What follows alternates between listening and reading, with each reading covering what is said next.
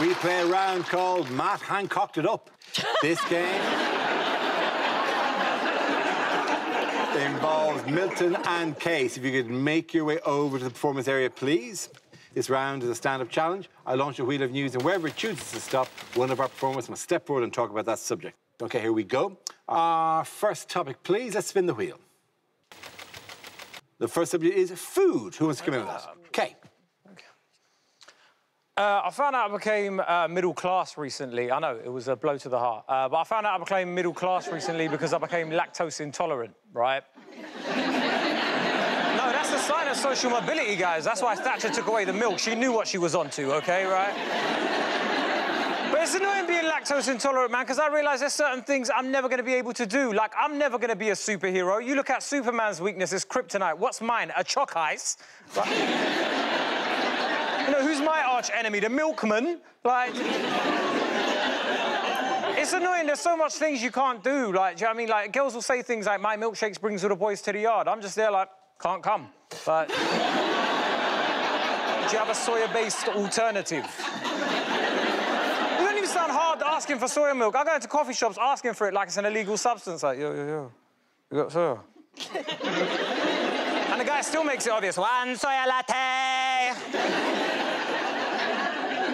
It's funny though how some some foods have like class attached to it now. Like people always bring up hummus and falafel, which to me is very weird because I'm from the Middle East, and uh, in the Middle East, hummus and falafel is just street food. Which begs the question: Is the same thing going on over there? Like you know, downtown Dubai, Mohammed and Ahmed, they're looking for something new to. He's got, oh, I've got a new delicacy. You're going to love it. What is it? Shepherd's pie. Do you know I mean?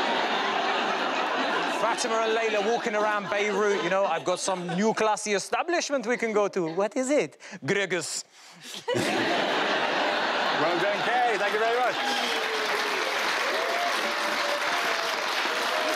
That leaves us with Milton. Let's see what your topic is. Let's spin the wheel. And the topic is danger.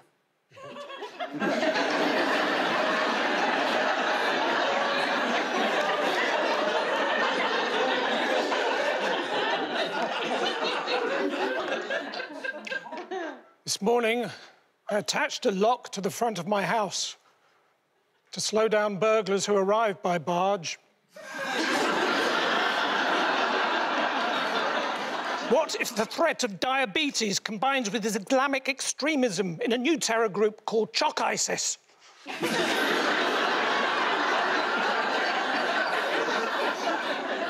couple of days ago, I failed my driving test for going 31 and a half miles an hour in a primary school.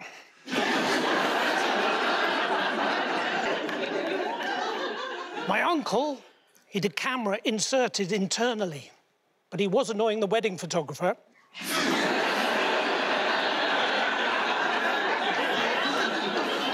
if you've got to tell someone bad news, best thing to do is to cut the words into the back of their hair. I'm sorry, I crashed your car.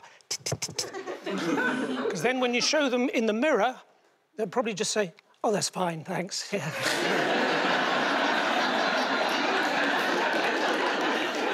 and if you get into a fight with someone, hit them as hard as you can straight away. Although I now know with hindsight that when my grandmother said, do you want to take this outside, she was talking about my bike. Well done. Thank you very much. Points there go to Milton Jones. Come on, both of you.